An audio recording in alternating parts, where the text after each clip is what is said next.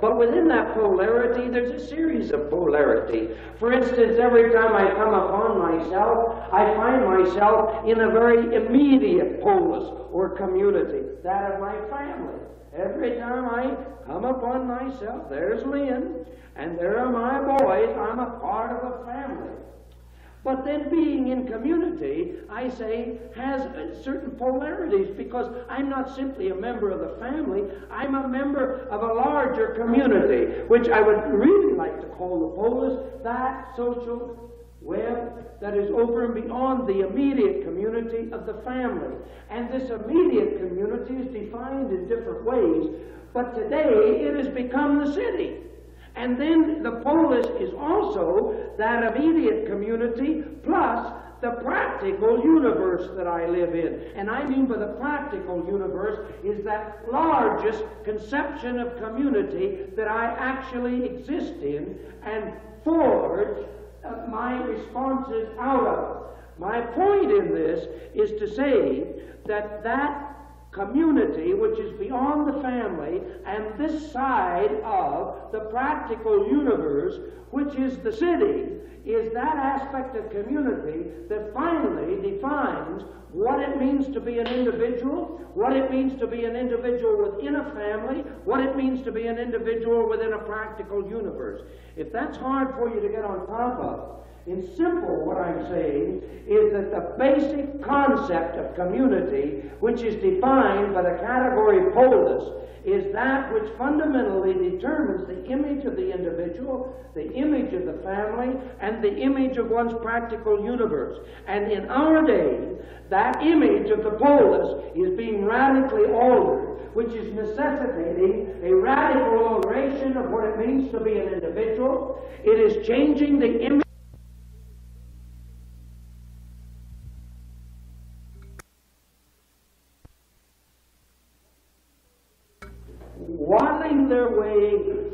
The wastelands of, of a desert. I say these are humans minus one, just this side of naked self consciousness, perhaps.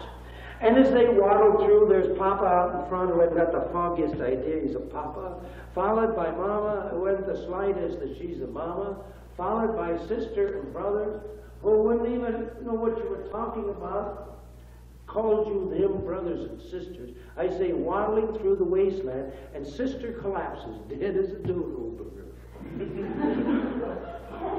and old Papa comes back and lifts her up, and she collapses. Eh? He, you, you see it in the slightest. He, he lifts her up, and she collapses. He slaps her in the face and nothing happens. He kicks her and not a budge. And finally, in desperation, he says, Boys, wag her. So they pick her up and they carry her for three days. And finally, the hot sun.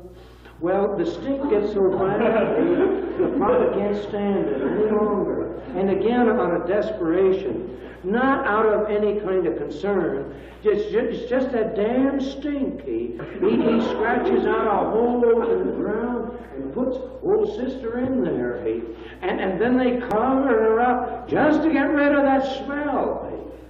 But after they've covered her up and the smell has gone away, they go out and get some stones and put on top. Not to keep the wolves away. They don't give a damn about the wolves. It was only the smell. But then something else. Here was the mystery of the mystery of the mystery of the mystery. Death. They didn't have the slightest. Here they were shoved up against the limits of being creatures. And they put those stones on there out of something that you I might call a feeling of the weird or the awe filled. And that was the first shrine. And pop, self consciousness broke into history, perhaps. And then another company of humans minus one came by. And they saw the stones. That reminded them of a happening that happened to them. that they stopped. And here was the beginning of the city. They discovered, as they met at a shrine, that two cubbies could gather more nuts to eat than one. And here began the marketplace, which was added to the shrine. And then they discovered that two cubbies could fight off more wolves than one. And here began the stronghold. And with the shrine and the marketplace and the stronghold began that strange journey of man from the first human settlement to this hour in which all of existence has become one great human settlement. What a march! We call that the civilizing process. And oh, what a history. At one time, the stronghold was the focal part of human togetherness in the polis. At another time, the marketplace. This came with the late Middle Ages in Western civilization, and that made the city of the bourgeois, or the burghers. And this is the only city that you and I, up to this moment, have known about. It's that city we've learned to hate. You know, we talk of the damn slums. No, no, I gotta swear here because it, those goddamn slums, those narrow, dark streets, those those paper littered alleys, those those uncovered garbage heads, that that city that we hate, us little bourgeois, have been fleeing out to the suburbs and the suburbs. and even though you never lived in the midst of, of what I call the city now. You fled. You say, hell, I don't want to live there. But then in the country. It's the city we've hated. But the city of the bourgeois is gone. And a brand new city is coming to being. And the irony of it is that no one in the world can escape from living in that city. It's impossible. That's your fate, and you damn well got to make the best of it.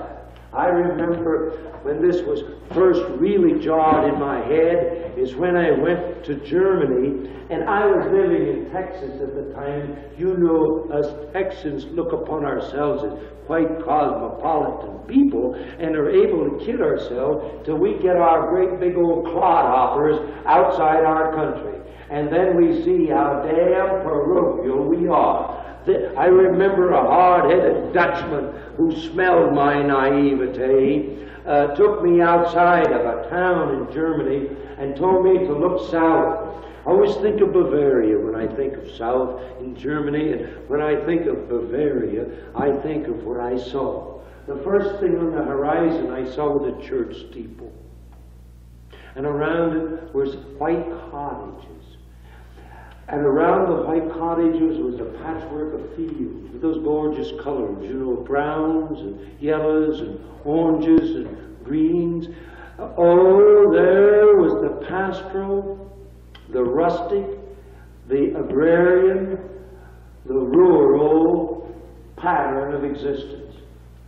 That steeple right in the center, people living around that symbol of the eternal, and then working around their houses. I tell you, there was the rustic mindset. It's the kind of mindset I guess I thought Europe ought to always have. I, am the kind of a naive person that, uh, though I wouldn't be caught dead in an outside privy unless I had to be caught dead in an outside privy. I always thought that Europe ought to remain the way it was pictured in those romantic novels that I studied in high school English. You know, I didn't think they ought to improve. They still ought to use outdoor privies and, you, well, anyway, that was the picture when I looked south toward Bavaria. I saw the medieval world then he told me to look north, and you know what I think of when I think of north in Germany. I damn well didn't see any church steeple. You know what I saw? Great big smokestacks. And there weren't any white cottages, just a great big black blob Mm-hmm. Sort of like Los Angeles with the smoke is in. And you come in from an airplane. This is a great big old black glob down there with mountains sticking out of the top of it. thing of it. And no, no, no patchwork field. Just that black glob had faded out into a circle of gray glob. And there was the technological, industrial, uh, urban world that was here. And then he jarred me to see that that was the kind of a world that I was going to live in. And that I no longer could pretend that if I just kept my head hidden in the sand long enough, that nasty old uh, concept of human settlement would go away. He even broke some of my illusions that I thought that I could be a knight on a white charger that would come in and do away with this nasty old new means of human settlement. No, the problem that he drove into my skull was not how do I get rid of it or how do I get out of it, both of which impossible. But the question was, what in the hell does it mean to be a human being within the midst of it? This is to say that the urban revolution is not geographical. It's a mindset in which the rural mindset has utterly been replaced by the urban mindset. And I think this has to do with our feel after space, with our feel after time, with our feel after personal relations, and with our feel after of how we root ourselves in the great evolutionary process itself. And let me see if I can quickly illustrate what I mean. And to do that, I need to go back to Ada, Ohio, where I grew up. Now that term Ada, the sound Ada, the sound of it is exactly the way the town was. As a matter of fact, it was such a small place that in our insecurity, we put a great big sign out along the Pennsylvania Railroad, which, which, which, which made Ada a flag stop. We put a big sign out there, the biggest little town in all the world. That was Ada. And I tell you, in Ada, we had a great deal of external space and very little internal space. External space, we had, there was Grass Run about a mile and a half out to the south. Hog Creek was about a mile and three quarters. Ringe Grove was about three quarters out to, Lafayette was out in the other, it was just a crossroads, you know, three or four miles out. I tell you, we had space and it, we breathed well in Ada. We had lots of breathing space. But our interior space, our psychological space was all awful narrow. Now you take Lima, Ohio, it, it, it, it, was just 16 miles away. It was nothing more than a overgrown village. We thought of it as a thriving metropolis. And when our family would go to Lima, Mama, she would announce it two months ahead of time. And we would plot and plan and scheme and intrigue about this long journey down the Lima Pike eh, to that great metropolis of Lima. Do you get the feel after that? That was a historic occasion in our existence. I tell you, we had, we had very little breathing space down inside. Our horizons were narrow. We were parochial in Ada, Ohio. To be parochial is a part of the rural mindset. That's what I was describing when I went to Europe there. I took a little Ada with me. As a matter of fact, I, I don't know how to put this to you, but, but we had one Negro person in town. And you know, for us people, hell, they were like a hyena in a zoo. We thought they were sort of our pet. Eh? Uh, that we could show up look. We a, in those days we called them coons in Ada. You know, this was a part about parochialism. Uh, uh, Roman Catholics, we didn't have very many Roman Catholics there, and I tell you, a Roman Catholic was almost was almost like an exhibit. Eh? Uh, you know, we all knew that Roman Catholics were wrong. Eh? that they that they kissed a fanny. I mean, the king of the uh, the, the ring of the pope. we didn't know what awful things they did in there on Sunday on those nights. And now, of course, we in Ada, we were sort of excited about having those folks here, uh, but we knew they were damn fools. Nothing would have. And I say our space was very, very narrow. I tell you, in those days, when a missionary came from India or Africa, and especially if it was what we called a native from those countries, the whole town turned out, which was a reflection of that kind of narrow. Now in the city, it's quite different. Hell, external space in Chicago, we have not. It's place upon place upon place. I tell you, we have a kind of external togetherness there really. But in terms of the interior space, laws are massive. If I got a call from one of the girls where I worked that tomorrow I had to be in Tokyo, that wouldn't come anywhere near as the exciting surprise as when Mama announced to her seven children that in two months we were going to Lima to see Cousin William and, and Cousin Alice. That is to say, the world belongs to me today. Not because it's good. What I'm trying to say is, hell, I just can't help myself. That explosion in Africa is my business. Not because I think it's great, but because that's my world. And that explosion that's going to take place in five years, within five years in South America, that's my damn business. Again, not because that's good or bad, because that's my universe. I cannot help it. My breathing space inside literally covers the globe. It's almost as if to live in the city today is that there aren't any more parochialism. That is to say that now the damn Protestant that sees the Catholic as a freak himself has become a freak. Do you understand that? The, the narrow-minded white man that sees the Negro as something to be held off like this, hell, he has become the ass in the midst, not because that's good or bad. I'm not talking about whether it's good or bad to love the Negro, not even interested in that. What I mean is parochialism is gone, and the best way to become a parochial horse's ass is to try to deny the fact. Do, you, do I communicate what I mean? The same is true about a European. The same is true really about a communist. We kid ourselves at this point, but inside us, the walls have been broken down in a way that would even make Paul tremble when he said, Oh, as a matter of fact, another wall that's gone down is the feminine revolution. And whether we men like it or not, or think it's good or not, the women have decided to be first rate citizens in the, the, the great arena of human history. I tell you, we have scope, but this is not simply geographic, it's historical. That is, when I look back into the past, there's nothing alien, there's nothing foreign there. It's, it's, it's, it's, all my past. See? Oh, all of the people there are my friends. See? There are none that are simply alien. I am history. I am not this history. I am all of history. Do you understand what I said? I am all of history minus none. And when I take a look into the future, there's nothing alien there. Nothing can happen that could be foreign to me. I am the future.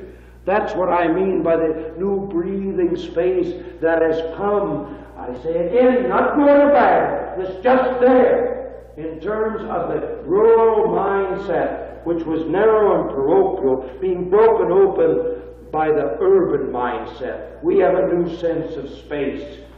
Now, if you want to get what I'm pushing at, if you act other way, otherwise, what I'm saying to you is that you are saying no to just what's there as your life. But in Ada, the same thing was true of time. Time always has a beat to it, it? The beat in Ada, the rhythm was something like this. Oh, I can remember it very clearly. We wouldn't have known what was going on if we'd seen the West Side Story. now, the beat or the rhythm or the sense of internal time in life has to do with decisions. And in Ada, decisions, they came along every once in a while. And that is today we made a decision. Two or three days later, uh, we had another decision to make. A few days later, there was a there was a, a damn decency, a, a rhythm to life. us rural people had sort of got used to this.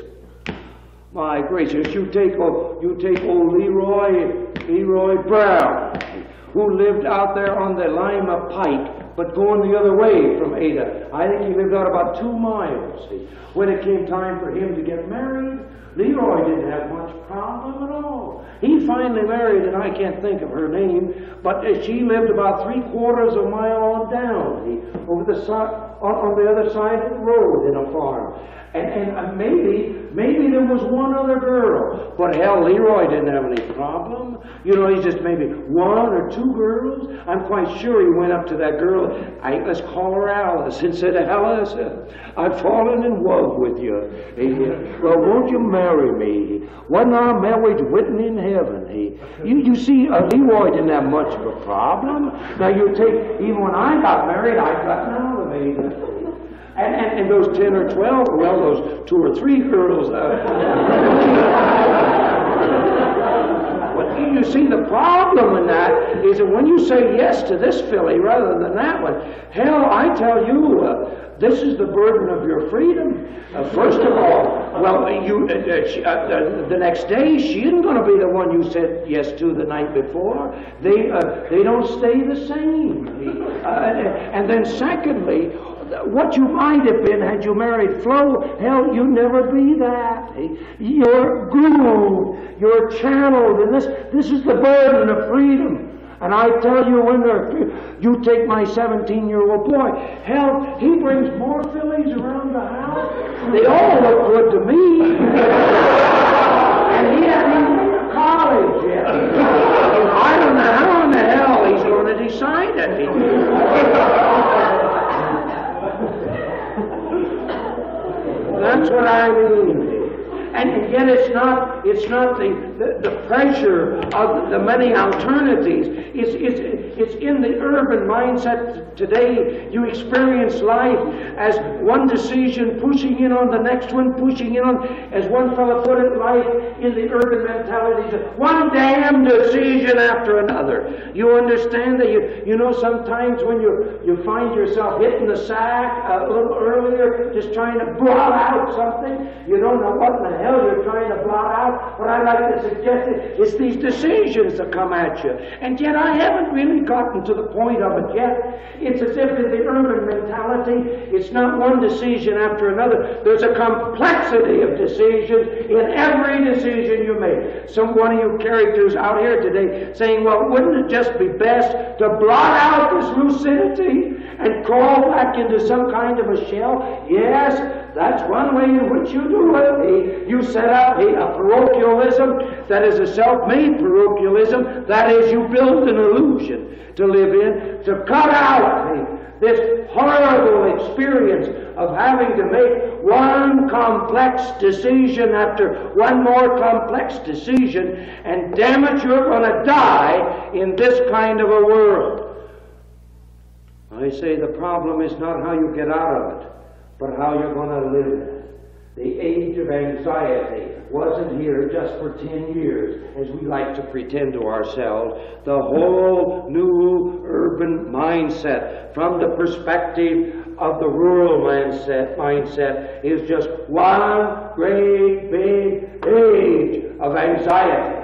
And to be a person you're either going to choose to live in the midst of that lucid person, or you're going to give up selfhood and get yourself some slob to marry that will help prop you up while you waddle in your illusion to your grave. These are the two choices that you have. I don't say this is good. I just say, hell, that's your lot. And the third thing that I think points to the radical alteration in human settlement and therefore in the very style of life has to do with human relations. Now again, you take Ada. Mrs. Ridgeway lived next door to us. I tell you, we had real intimate relations there. Mrs. Ridgeway had my mama's permission to spank me. I tell you, we were intimate in Ada. and we called her Annie Ridgeway. Hell, she wasn't related to me, especially when she was spanking me.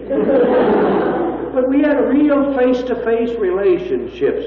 You, you, you, you, you know, we, we could have, it wasn't written then, we could have perverted Buber's I thou, the way I hear people all over the country perverting it, as if I'm a, a an I out here and over there's a thou, and uh, we, we worry it up uh, together to become I thou. You get this? This is to say that the Christian understanding of love was reduced to the rural mindset in which love was this face to face relations in which I make a gentleman's agreement with her that I'll not ask upsetting questions of her, she doesn't of me, and we'll be real, real nice to each other, and we'll not puncture each other's illusions, and uh, whenever two people get into a creative dialogue, I'll move in and I'll say, oh, if we just understood each other, you would like each other, or way down underneath, you'd see that you were saying the same thing. That's what I mean by the rural conception of love, some kind of face to face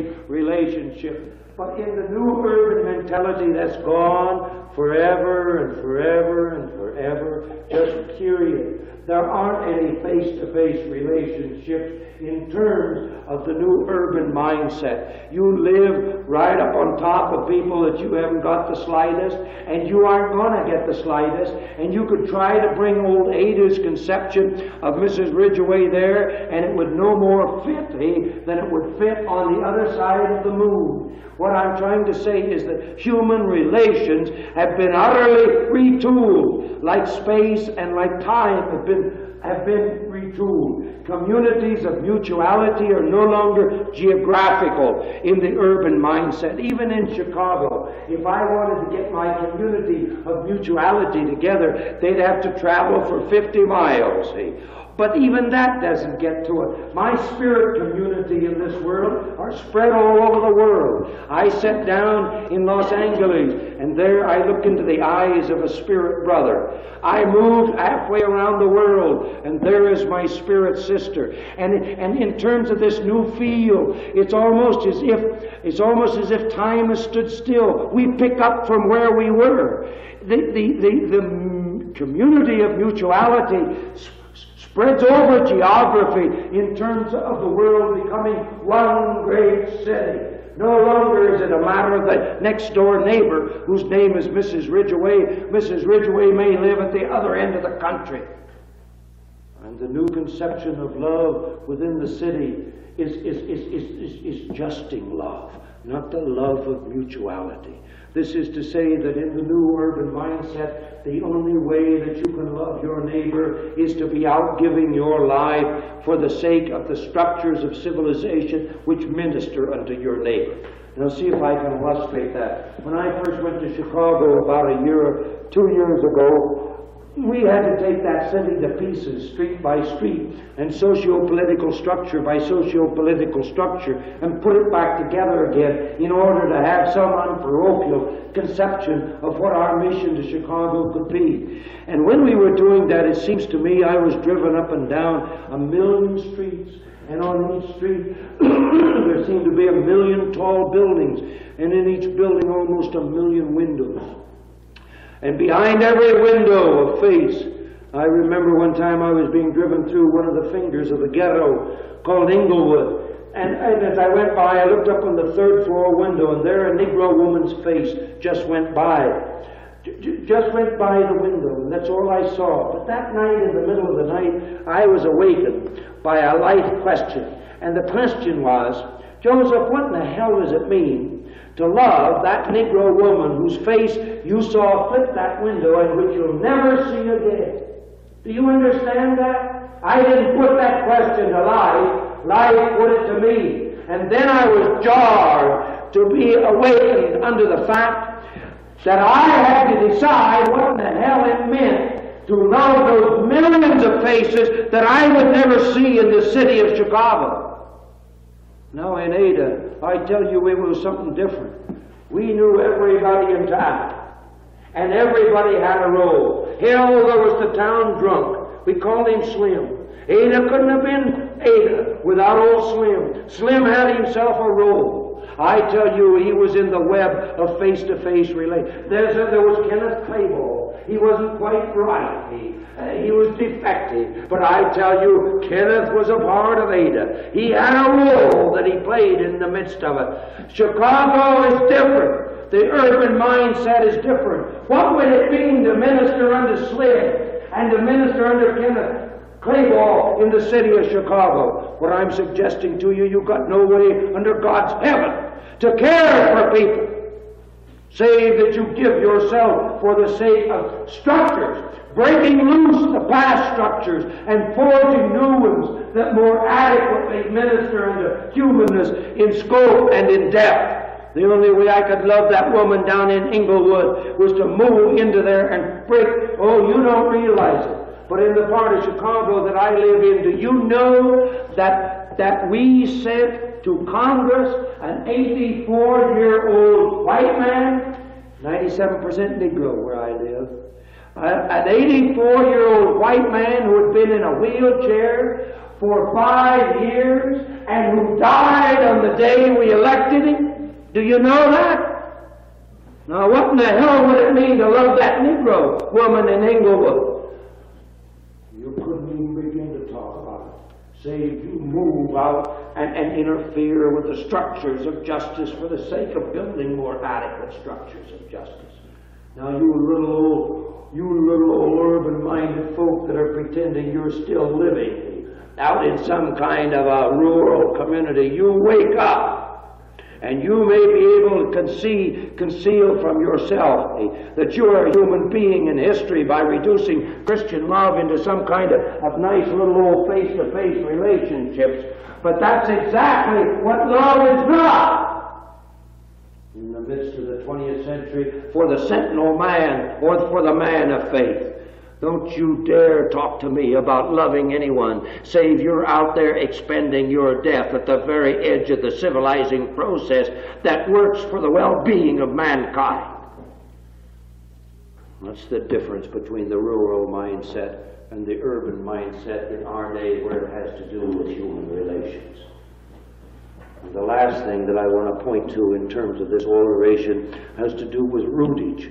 I don't quite know how to put this. But I have to go back to Ada again. I have to go back to my papa. I buried him a couple of years ago. He was 92 years old. And almost all of papa's life, at least during the lifetime of his three boys, he, he was irritated at us. And he was irritated at us because we didn't seem to give a damn about the past that was so damned important to him. Do you know that he could not only name all his first cousins, by name, but he could name his second cousins and his third cousins, and he could tell you how they were intertwined way back there. Why, hell, I, I'd have a hard time naming my first cousin. And my boy, oh my Lord, it's pitiful. Lynn decided that she hadn't shown off her three boys to her folks out in the East Coast for a long time, and this last summer we just decided to take them out. She just decided to take them out there. and I was going to a conference and I rode them off away. and, and, and, and, and I remember we were coming into Norwich, New York, where we got some relatives. And the three boys were in the back seat. And old Lynn, this is now boys, this is your Aunt Alice and your Uncle Alex. It is not Aunt Elizabeth, and that's not Uncle Arthur and the name of your cousins here are Jonathan and so on. Then she turned, Joe, I want, I want to hear you name your cousins, see? And we were rehearsing. And she telling, now the, the tallest one, he's Alex. That middle one, he's somebody, I couldn't have even, hell, I didn't even know. Do you see what I mean? He, Papa was ruled in his history. As a matter of fact, Aunt Maggie Mathews, that's my great great grandmother, she was a historical event in Papa's life. She wasn't any in mine. at all. I, I, she was a pioneer woman, probably no record of her birth and no record of her death. She wasn't any event in my, but for Papa, she was a historical happen. Well, one time I got nostalgic and decided I'd try to see where her grave was, and she was buried in the Huntersville Cemetery. That is about two miles south of Ada. Then you'd turn east for about two miles, and then you'd have to turn back up north uh, about a half a mile, and there used to be an old church, hell, there ain't church there anymore, and that grass, I, I, I felt like it was that, it was about that high, but I experienced it like this, you know, going through that grave. And then those, those, those tombstones in Ada, in Ada, they, they made tombstones out of that soft sandstone. Hell, they don't last at all. And, and the broken over, slapped down. I go looking. I never did find the grave of Aunt Maggie Mathews. And that didn't come. That would have killed Papa. I'm glad he died, he, before I had a chance to disclose that uh, to him. He was rooted in his past. That was the rural mindset. And that was the mindset that man had lived in from the very beginning of human settlement to this very hour that you and I live in.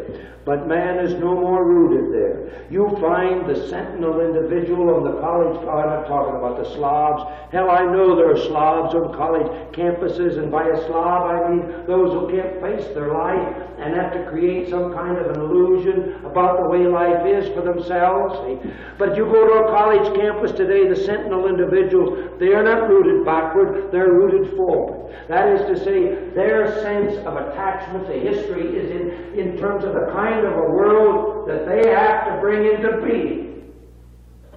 Do you understand that? The world that they create is where their anchors are. I, I don't know as to whether or not you're clear about that. But when you want to get a hold of the stuff that anchors me, an awakened student in history. It's what he's going to do in history. It's what he has to do in history. It's the kind of a world he's going to create that finally gives him his rootage in the midst of life. And that isn't good or bad, that's just the way it is.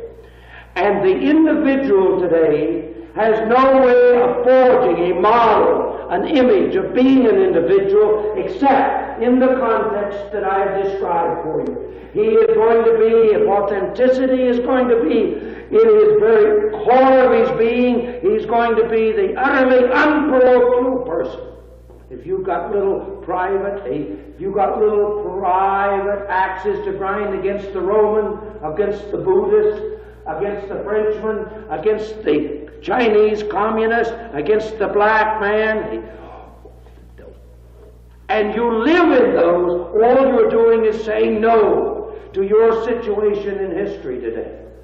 The second thing to be an authentic person is to live in the midst of a horrifying anxiety of having to make complex decisions that would have rattled the teeth of your mother and your father. And the third thing it means to be a human individual in our day is to live in concern for the neighbor that can only be manifest in terms of altering the structures that minister unto the human well-being of all mankind. You've got no other way to do it. And lastly, it's to self-consciously root yourself in the kind of a world that you have to build. And you've got no other rootage. Once the medieval universe passed away, you've got no rootage in the past. You will only root yourself in terms of picking up the civilizing process and creating the kind of a world that you demand this world be, and in that activity you create the very roots of your being. Now, E. Cummings, in one of his poems, said there's a hell of a good universe next door, let's go. Well, I think that the, the decision facing anyone who's going to be an authentic person is just this the urban worldview that defines the kind of a style that you have to forge is here. And you either live in that world or you try to stop the world and get off. But you never get it stopped. It simply grinds you underneath and ushers you to the to the six foot hole in the ground as one who never lived. Now, mark you, I did not make this world, and neither did you. But that's the world you and I are cast in. To be a man of faith, to be a man who is in Jesus Christ, is to be the man who picks up his world, the one who has cosmic permission to live in the world that's his, and live it to the hilt.